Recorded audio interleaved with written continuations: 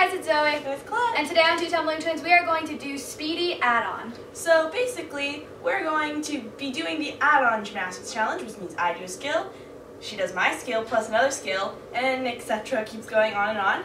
But we're gonna do it fast. So we have two mats set up next to each other, so I'll do a skill, and then Colette will have to do that skill and then add on one very quickly, so it'll pretty much just be one consecutive clip.